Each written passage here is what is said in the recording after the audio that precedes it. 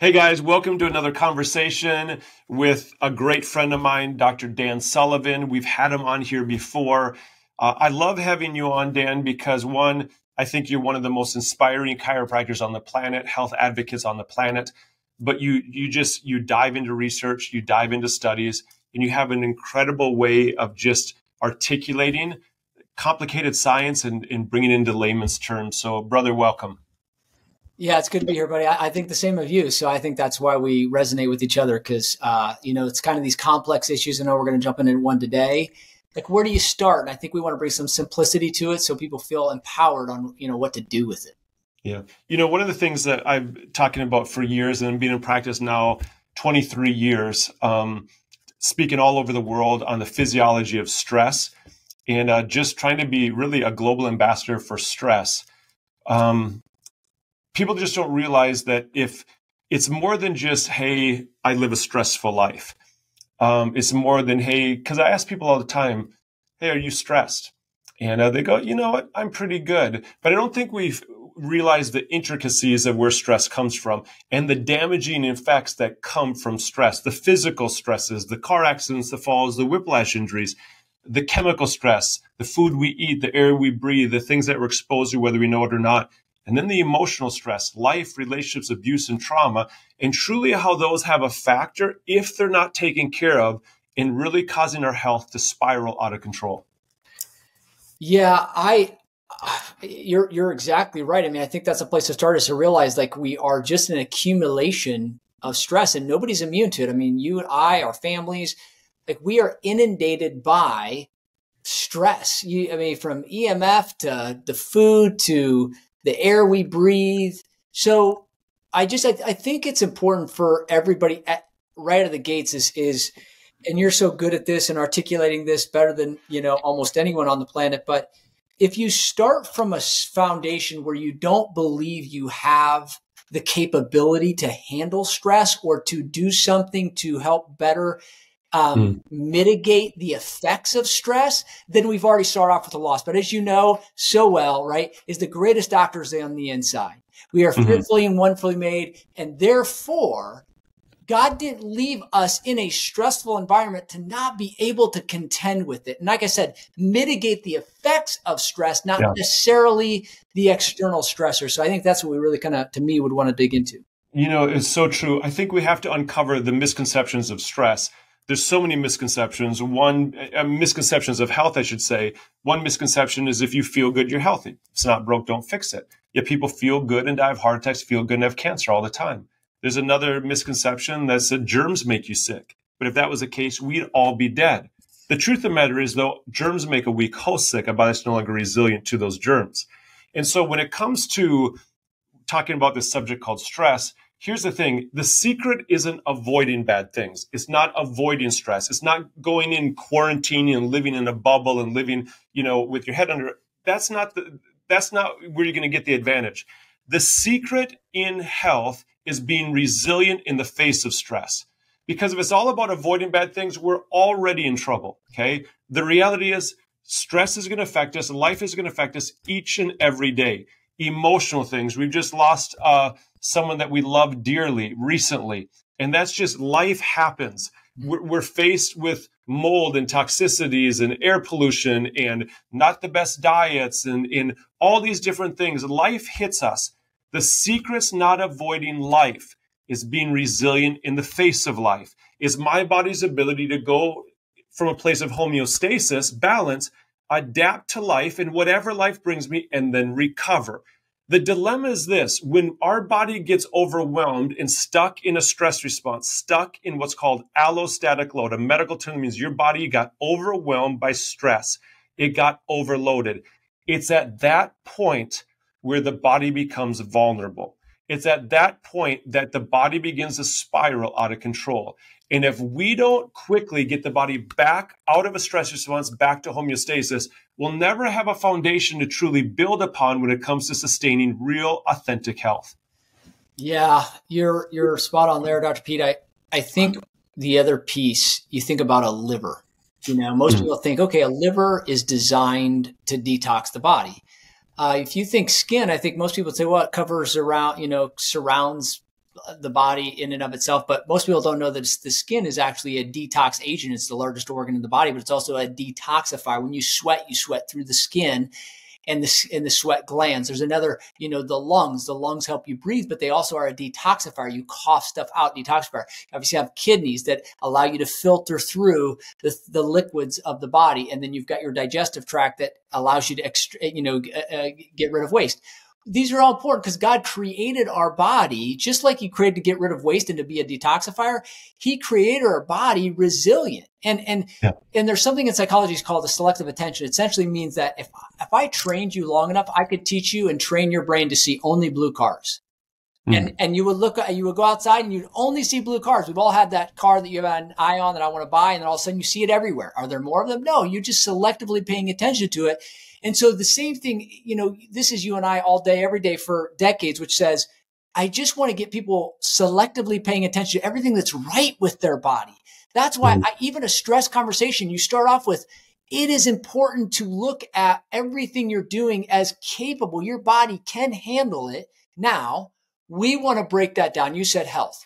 2016, I went to the World Health Organization with a, with, an, with a, with a wellness committee and we were there to um, educate educate a certain department on on on kind of the health. I mean, there was a bunch of chiropractors and, and some natural health uh, researchers, and I remember there was a guy there, and he talked about, and he threw up the slide, and he said, uh, in 1948, the World Health Organization at the time, we were called the World Health Association, WHA, turned into WHO, but he goes, Dr. Andrija Stampar said and put down the definition of health, and he put it up there. Health is not merely the absence of uh, symptoms and disease, but rather the functioning, right? Mental, physical, and spiritual health of the body. And so it's important to know why. So, so here's the thing. And I think somebody out there will say, well, why isn't that practiced? Like, why don't we get access to that? Why don't most doctors subscribe to that definition to help us do that? Is because even he admitted, he said, we, with the resources that we have, we are so focused on trying to treat disease, we really don't have time to do all the other things that would uh, you know, would define true aspects of health and healing. And so that's why we, you and I, like, I think it's important. We have to come on these, these, these podcasts and interviews and say, okay, I get it. You haven't been taught this, but we're going to teach you these things. And when we put them into play, you can have this life here on earth that is more quality and not like, you know, everybody else. Absolutely. And I think it's important to understand as well. Like we've been doing this for a long time. I can't tell you how many patients have come into my office who have impeccable diets, exercise all the time, and have cancer at the for the second time at the age of 30. And then we know those individuals that really don't do anything you're supposed to. They eat fast food all the time. They never work out. They and I think they're going to live forever. So the real secret is, like you said, is it's hey, can we minimize stress? Absolutely, we can. Okay. And we're a big advocate of that. But that's not the real, the real secret when it comes to truly sustaining and creating resilience is making sure your body is always adapting, but more importantly, recovering. so there's two components of resilience. It's the toughness component, which is my body is able to be able to get hit and keep going. But then my elasticity component. It's the elasticity component, which I believe is really the secret the body's ability to recover. It's the recoverability of the body. So no matter what I'm doing, I can recover. Watch this. If the body's not recovering, if it's not getting back to homeostasis, if it's falling short of balance, that's the point of vulnerability. Okay. When that happens, your body goes into survival mode. Heart rate goes up. Blood pressure goes up.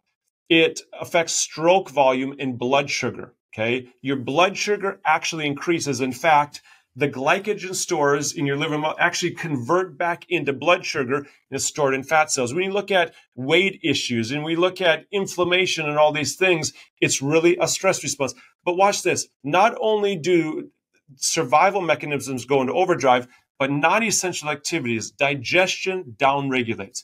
Your immune system downregulates. Reproduction downregulates growth hormone downregulates simply because the body can't get back to homeostasis. And watch this. If the body doesn't get back to homeostasis, it creates these vulnerabilities that if they're not supported leads to all the diseases that we face today on a regular basis. But our society has looked at all these diseases and called them abnormal. Therefore, if something's abnormal, we treat the abnormality. Okay. There's a definition in our culture called pathology. By its definition means the body is broken down, is not doing what it's created to do. So if you have blood work done and your blood work doesn't show up in the normal range, they call that pathology or abnormal. But let's, you know, Doc, I know you know this, but let's introduce, you know, those that are watching to a new term, adaptive physiology. What's that? Your body will always adapt physiologically to the environment that it's in. So let's go on a field trip. Let's go to Denver. We know that Denver is a mile high city. It's a, it's a mile above sea level. It's a higher altitude. If we went on a field trip to Denver, got off a plane, and someone was there to measure our red blood cell count, they will determine that in every one of us, our red blood cell count will have increased. Why? Because red blood cells carry oxygen, and we need more oxygen to the brain because we're at a higher altitude. Therefore, if we go on a field trip to Denver, get off a plane, and someone is there to measure our red blood cell count, and in fact determines that our red blood cell count has increased, would you consider that increase in red blood cell count to be pathology abnormal or adaptive physiology? Adaptive physiology. We need increase in red blood cell count if I'm running, if I'm at a higher altitude. But watch this. Let's say you're at the zoo and a tiger gets out. We're having a good time together, and then all of a sudden a tiger gets out of the cage, and we'll call it the epitome of a stressful situation. So we're running for our lives from this tiger, our blood pressure's high and everything else. And some medical doctor comes, or not even a medical doctor, just anyone comes next to us and says, Hey, take this pill, your blood pressure's high. We look at him and go, dude, you're crazy. Like you, you see, we're running away from a tiger, right? We know better than that. The problem isn't the high blood pressure. The problem is that we're literally running away from a tiger. And we laugh at that because we know better. But what happens if you go to your doctor? The doctor finds out that your blood pressure is high. You start to feel lousy, right? You go to your doctor, the doctor checks you out says your blood pressure is high. What does the doctor consider that high blood pressure to be? Abnormal pathology. So what does he offer you? A medication. And so watch this. That medication will lower your blood pressure. For three months, you feel great on this brand new blood pressure medication, but three months into it, you start to feel lousy again. So you go back to the doctor. The doctor checks you out and says, well, sure enough, your blood pressure is high again. What does the doctor consider that high blood pressure to be? Still abnormal. So what does he offer you? Another medication. He doesn't take you off the one, he adds another one to you. Why? Because if we continue to misidentify the true culprit in sickness and disease and call what's normal abnormal, we're going to lose. It's like going to war, and no matter what we do, we keep getting destroyed by the enemy. Because unbeknownst to us, the whole time there's a spy in our camp. The thing is, we know the spy's name. We're with him every day of our life. We just never identified him as a culprit. Until we identify the culprit, we'll never get the results we're looking for. But the moment we identify the real culprit, from that moment on, we get the results. Watch this. A body that gets stuck in a stress response is the number one vulnerability that leads to everything else that we're facing on a regular basis. So we talk to all of our patients, we talk to people around the world. There's a roadmap to get back to resilience. How? Restore homeostasis. And there's things that we could talk about to do that. Number two, replenish the vulnerabilities that were left in the wake of stress. And then over time, we can retrain a person's lifestyle. But if we just take this simple approach, this roadmap to resilience, no matter what you're dealing with, the thing is, cancer is considered abnormal, thyroid issues are considered abnormal, infertility and digestive, all of them are considered abnormal. But what if they're not? What if the true culprit was a body that got stuck under stress? If we can cage that tiger of stress, we're going to put ourselves on a foundation to truly get us moving in the right direction. That's why we're so passionate. This li- we're living in an epidemic of of stress at crazy proportions, but I think in many cases we've just misidentified the true culprit. Yeah, yeah, dude, that's a very good. That's a very good explanation. There's a part of the brain here. Um, I love love the brain. This is this part of the brain. It's it's kind of the the the midbrain area, limbic function. It's called the amygdala. This amygdala is where that it, it's the start of that fight or flight uh, uh, system within the body, or what what is known as the sympathetic dominant state. You're referring to this stress response, and that amygdala is important because one, if you just carry around a lot of weight of just emotional stress, that can stimulate that. But then we're finding out now, as you just alluded to, Dr. Pete, is there are things in our lifestyle that will take that amygdala and spark it for stress, fight, or flight response versus the rest, relax, digest m- mode. And that's where we need you is if you're going to mitigate the effects of stress, we got to get you out of the hypothalamic pituitary adrenal axis pointing towards stress. Now, those are big mm-hmm. terms. All we want you to know is that there are lifestyle modifications mm-hmm. in an environment that you can get yourself into that actually starts to remove what we call these rocks out of the backpack. They actually start to take the rocks out. So the weight of that stress is no longer felt because your body is in a parasympathetic state. And so it's, I think that's the piece where I, I just, at this stage, I have always felt Dr. Pete now recently is like, what do you, how do you even, where do you start? You know, and I, hmm. and I thought about this morning when we were talking about doing for doing, doing this, this, I thought, you know, it's interesting because I, I think number one is, is, you know, you've got this bot, you, you've got things you put into the body and we could talk through that. But it's like every, we, we put stuff into the body. You got food, you got drink and you got supplements. Like, you know, and unfortunately some people are medication. So you put stuff into the body. So that's one piece. You put stuff in the body. Then you, you also have like where your body, like the environment that you put your body in, you know, mm-hmm. like, do you, are you in sunlight or not? You know, are you in an environment with a lot of stress and around people that are stressful all the time? Do you have your body um, in a in, in a posture a posturally correct environment? Right? Are you sitting mm-hmm. all the time? So where you put your body is important. And then I think about what your body does. Are you moving your body? Mm-hmm. Right? All these things reduce that stress load. They reduce not the stress load, they reduce the effects of stress on you. Are you moving your body? Are you getting your body proper rest and sleep? You know, are you are you creating enough activity in the brain and the body? And then you think about um, what do what interventions maybe are you doing for your body? You know, as chiropractors, we like to really make sure, hey, there's a important aspect of when the joint of the spine move, they send a certain nutrient into the brain that allows your parasympathetic or your stress response to reduce. We know that that's been done in the research. It's so, it's why we're so passionate about it. But there's also other things, whether you maybe go to an acupuncturist or you put the, put, you know, uh, uh, different, uh, um, physiotherapists, different things to the body, massage and lymphatic drainage. These are all things you can do to the body. And my point is, is I like to, I like to simplify it. You know, you yeah. got this body, how you move it, where you put it, what you put in it. It really, it really comes down to that, Dr. P. What's your thoughts on it? You know, I agree. And, and I think for me, I'm very, I'm a simple person. I like to take complicated things that I'm confused about and just ask questions and, and break it down in layman's perspectives very, very simply. And when it comes to resilience and truly creating resilience, we have what's called a roadmap to resilience. Number one is you have to restore homeostasis. But let's break this down. There's three distinct stress pathways in the body. There's a neurological stress pathway, there's a chemical stress pathway, there's an emotional stress pathway. The, phys- the neurological stress pathway is activated through physical stress. That's either too much movement or too little movement car accidents, falls, whiplash injuries, or sitting at a desk all day. All of those things activate my body into a physical stress response along the neurological stress pathway. When the body gets stuck neurologically, the only thing proven to help get the body back to homeostasis is movement.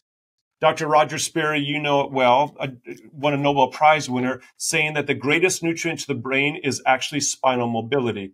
Why? Because when spinal mobility actually restores the body to homeostasis, when a vertebrae in the spine gets stuck, it begins to degenerate over time. That means the body's stuck in allostatic load along that neurological stress pathway. So how we restore that body to homeostasis are chiropractic adjustments, movement, vagal stimulation. Okay. So the first pathway is the neurological stress pathway. We get it back to homeostasis through movement and adjustments. The second pathway is the chemical stress pathway. It's referred to as the HPA axis. Nothing to memorize for those of you that are watching, but it's the hypothalamus pituitary and the adrenal glands. That pathway creates a stress hormone cortisol. Like we said, when that pathway gets stuck, it leads to all the diseases that people face on a regular basis. Well, what studies say is that the only way to restore that pathway back to homeostasis effectively along the HPA axis what are called adaptogenic herbs. Adaptogens are nothing new. They've been around for thousands of years, but the only chemistry that will actually bring you up to homeostasis or down, always restoring the body to balance. Okay, so the neurological stress pathway, we restore homeostasis with movement and adjustments. The chemical stress pathway, restore homeostasis with adaptogenic herbs. That's why I put every one of my patients on adaptogenic herbs. And the third pathway is the chemical stress pathway. Like you alluded to, the amygdala, the limbic system of the brain. Well, that pathway is activated, okay, through life and relationships, abuse and trauma. Okay. Basically, when I lose hope in my future, it activates the body into a fight or flight response. But if I can get my hope back, it restores homeostasis. There's a proverb that says, Hope deferred makes the heart sick. A desire fulfilled is a tree of life. It's actually proven physiologically in the body. Okay. And what happens is when we go through experiences, when we have memories and we go through life, that memory is housed in our personal library in the cortex. But the amygdala, the emotional center of the brain, it actually attaches an emotion with every memory, and that houses in the amygdala or the limbic system. So it's it's a perfect balance. So if I go through a memory, it's a good, bad, or ugly emotion, but it's a, a balancing act.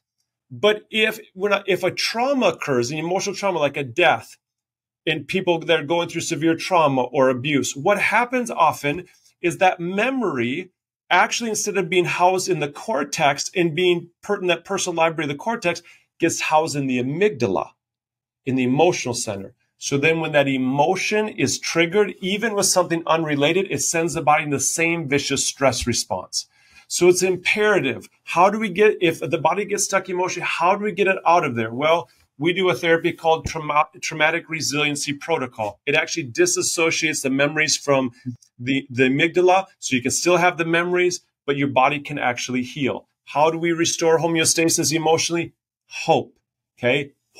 Renewing your mind in the word of God, surrounding yourself with people that see your according to your worth, value, and identity. So first things first, on a roadmap to resilience, we have to restore homeostasis. How? Neurologically, we're going to do it with the adjustments, with movement. Chemically, we're going to do it with adaptogenic herbs. Emotionally, we're going to do it with hope. And then now that I've laid that foundation, if that's all I ever do is restore homeostasis and stimulate homeostasis, that's 99% of the battle. That's the difference between someone that eats clean and exercises and gets sick and someone that doesn't do anything and, and lives for a very long time. Why? The person that can get back to homeostasis is more resilient. Secondly, we're all about replenishing vulnerabilities. We can do that through supplementation. In fact, every disease has specific nutrient deficiencies and toxicities that we can support. We call that replenishing vulnerabilities. And finally, retraining lifestyle. Getting on podcasts like this, watching Dr. Dan Sullivan. There's so many others that we know out there that just want to empower people to truly get healthy. Trust me, there's a system that's broke and not going anywhere. And when it comes to my health and the health of my family, it is imperative that we steward over it. We have to steward it. If we don't steward our health and take care of our health, we'll lose it and we'll never fulfill what God's called us to do. Mm. So good, buddy. Yeah, that's uh yeah, you're exactly you're exactly right. It's it's it, it really does boil down to neurologic metabolic, which you mentioned in chemistry, and you know psychologic. I mean it, it, it's like there's nothing else to address. Now i know there's a lot of factors within that even timing of stuff. You know we you know i got a good friend dr Mindy Pelz she you know wrote a book called fasting like a girl and, and and even fasting what we know about the power and the benefits of fasting not just what we eat but when we actually eat it. You start to change your metabolic health yeah. by when you mm-hmm. eat certain things. It just can be that simple right? Is giving the body a rest. When a dog gets injured they don't eat. Why? They use all that energy for healing and and there's just certain things that it goes back to these you know ancient remedies if you will right? Is this that god god created the best model and and uh you know to to live in today's environment we have to go back some of those ways. So yeah as well absolutely. And you know doc i know how in your studies and so forth i'm just amazed that when i look at autoimmune issues if you look at the National Institutes of Health, it talks about HPA axis dysfunction, meaning the chemical stress pathway literally got overwhelmed and got stuck. And it's what leads to autoimmune issues. It's what leads to chronic fatigue. It's what leads to fibromyalgia. But if you look at cancer, if you look, even when it comes to the emotional stress response and allostatic load, in fact, studies will show now that in a lot of cancers, there's an emotional trigger simply the body got stuck emotionally in a stress response. In fact, I, I saw a study a while ago when it came to breast cancer that if it shows up in a woman's right breast tissue, it's typically because of an emotional trauma with a father figure in somewhere in their past. But if it shows up in the other breast tissue, the left, it's typically because of emotional trauma with the child. That's just fascinating to me because really, however the body gets stuck, it's imperative. Let's just get the body out of a stress response. People come to us from all over the world. The best thing that we can do for people, and the reason why we have them come into our office is to help the body get out of a stress response, to lay a foundation. But even from the comforts of your home, uh, you know, just get movement, moving, get active, begin to you know eat a clean diet. Doc, are there any suggestions that you have too as we look at hey, just in improving our lifestyle, improving just the way we live our life. We've gone through, I know we've both gone through many things as we steward our family. We've learned a lot. What are some of the biggest takeaways you've come when it just comes to getting moving in the right direction? Yeah, I think keeping it simple. I mean, you said it best earlier. It's like trying to be a. I'm a I consider myself a simpleton too. I, I like all the research and data, so I can know the evidence to you know support and back up any claims that I make. Um, I, think just simply speaking, you got to be hydrated. You got to get up in the morning. You got to hydrate. Get some sun get some sunlight on your eyeballs. There's so much cool research coming out. Just, just getting sunlight on your eyes sets your entire hormone system for the day. And something so simple, but you're like, well, of course God would create that way because we wake up and we should be in front of the sun, but we don't typically do that. When you go down to sleep at night, start to get and half an hour before you go to bed, start to lower the lights. It starts to get your brain prepared for the hormones that are needed for deep sleep. So you can actually heal. Your nervous system is the only system that actually speeds speeds up at night when you sleep because it's the healing system. Every other system slows down. It's that we got to support that nervous system. And so sleep is so critical. If you lower the body temperature, which you can do at night. It's why you can sleep so good in a hotel. Typically, if you lower the body, the, usually the, the room is, is a little bit darker and it's a little colder. These are all tidbits to just lifestyle things that I've, I've over time studied and studied of why how can we get the little edge or the little advantage? So those things that come to mind i'm big on on like intermittent fasting.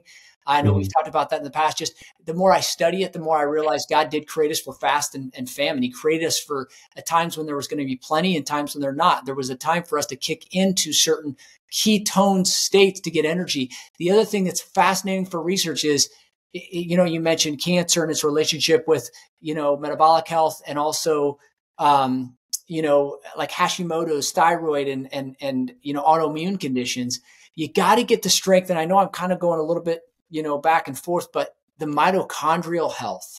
And mm-hmm. this is where your adaptogenic herbs, Dr. Pete, that you bring the like is so critical because getting your mitochondrial health back up. Your body can't do anything without energy. And if you mm-hmm. remember eighth grade biology class, you remember the mighty mitochondria. That's the yeah. part of the cell that creates energy. And we know because of our inflammatory diet, you get this cellular health that the cell membrane loses its balance and it loses its permeability. The stuff can't get, the bad stuff can't get out and the good stuff can't get in. And you create this, this smoke within the cell, as I like to, as I like to describe it. And that really harms your mitochondria. And when you don't have ATP, you don't have any healing energy. And so that's really, so your question may be, how do you do that? Well, what you just named, Dr. Pete, how you just named it so well, that's what you do. You have to mm-hmm. reduce inflammation in your body. These adaptogenic herbs, get your lifestyle, get whole food nutrition, get the neurologic health back up, and then ultimately that that that uh, you know that the uh, psychological health. So I can give a tip on that in a minute. But yeah, it's just it's um it, I don't want it to sound overwhelming because it can real quickly. And I and I know I just kind of rolled off some stuff. I like this. But notice too, for those of you that are watching, health doesn't have to be complicated. It's can be very very simple. But regardless, let's just get moving in the right direction. Mm-hmm. I tell people all the time, I'd rather have be on death's door and get moving in the right direction than assuming I'm healthy, move in the wrong direction. And just simple things like even not even taking things away you know there's a lot of patients and people that i'll see and they love their diet cokes they love their soda they think that switching over from a diet coke from a regular coke is healthy for them and they just they're just ignorant and it's it's we come to the table just as we are but there has to be grace for you and i want you to know that there's grace for you and simple things that we can do begin to hydrate before you drink a soda you know? Begin to kind of transition. I remember even for my wife and we brought her from sodas okay? This is a long time ago so not recently but we brought her from mountain dew to mellow yellow and we thought we was a huge health kick okay? Well it wasn't actually a huge health kick but a little bit less sugar. And then when we began to get her off soda we began to drink water before you you had a soda each time that she drank it and then we switched over to sweet tea. And sweet tea is not necessarily healthy, but then we began to go half and half. And then we began to cut. And all of a sudden, now she's with unsweet tea. There's so many things that we can do to just transition and know that there's great grace. I like to say it all the time Skittles in your mouth, Twizzlers, or Twizzlers in your mouth, Skittles in your pocket. It doesn't matter. There's great grace for you. And as we move in the right direction, I want you to know that no matter where you are in this journey, let's just get moving. Get moving yourself. Begin to hydrate, like Dr. Dan said. Begin to just normalize your sleep schedule. Begin to cut out the sweets, cut out the grains and everything else. And let's just begin to make healthy choices in the right direction. But, Doc, I want you to allude to the fact of what you're talking about when it comes to psychological health and emotional health and well being and some uh, tricks of the trade for that. Yeah. I, uh, so I studied with a guy named uh, James Pennebaker. He did, he wrote a book, um, many books, but one book he wrote, and, and I actually dove into it because I wanted to disprove the model. I, I, didn't think that what he said had, had validity until I looked into it. And he and he does something. He he preached on something called expressive writing, and it means it's so simple. It's gonna it's it's like it's so simple. It's gonna sound like how could that do anything? But what happened is what he taught is you essentially take a piece of paper and you write out your thoughts. You you write out what's on your mind, good, bad, or indifferent. And the crazy part, it doesn't even need to be legible. And then when you get done with that, and you may take five minutes, you may take 15 minutes, and you write out everything that's, and then when you get done with that, you take that paper and you throw it away. It's not a journal experience. You're not trying to remember the stuff. But what he showed is that when you can put space between your eyes or your brain and your thoughts, you create such an open environment that literally it's it's like you know it's like counseling it's it's it's like you know taking and somebody guiding you through listening to it and kind of exposing it. And so you're reframing that, but you're partially just getting rid of what you just kind of mentioned, uh, uh, uh, what you guys do that I think is so powerful. It's, it's what the research shows that when you could put space between your, your thoughts and mm. you are not your thoughts. And so it's expressive writing. It's just that simple. And so I've always taught that and, and, and the research behind chronic pain, like this is one mm. example. The research behind how chronic pain goes away by just doing that. Because what they showed is chronic pain, people that suffer a lot of chronic pain, that after three months of chronic pain in the same area, it changes from the part of the brain that's physical into the emotional center.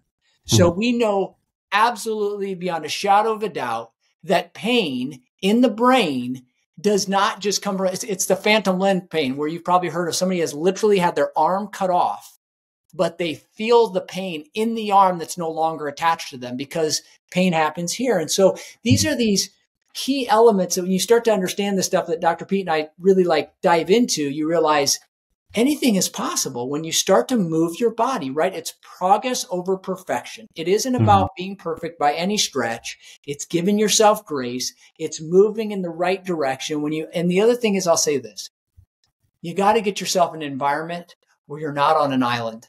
If mm-hmm. you're left alone on your island, you will you will be making decisions that are not you. I, I remember Dr. Pete one time, this is about four years ago, I had a toothache that was so bad. And I remember I had to get on a plane and I called my dentist. He kind of tried to walk me through it and he couldn't give me, uh, so he got me in the next morning. And I remember in this airplane, I was in a Chicago airport and I remember thinking to myself, this is why this is why people make decisions they're not themselves like i was not myself i was like i will do anything to get rid and i realized this is the it's a predicament that when you get in a place you'll start making decisions that aren't yourself and i have found that when i'm not held accountable and i not put the people around me and not yeah. have the resources and the in the environment and the doctors and the advice then I, am a couple bad decisions from it all falling apart right yeah. and so get yourself in an environment and start to move forward with with progress Absolutely, Doc. And, you know, for those of you that are watching as well, if nothing else, know this your life is significant, your life matters. And God desires for you to finish well, to run this race well. I want you to know that that's why we're here to simply support you on your journey to a happy and healthy life. Doc, I'm so grateful for you. I can't wait to have you on again and talking about just breaking down some other just ways that we can empower people's lives to truly live their best life. Doc, it was an honor to have you here. It's always an honor, buddy. My pleasure. And guys, look forward to another conversation here. They're loading weekly. Thank you for sharing this with your friends and family. We love you. We'll see you next time.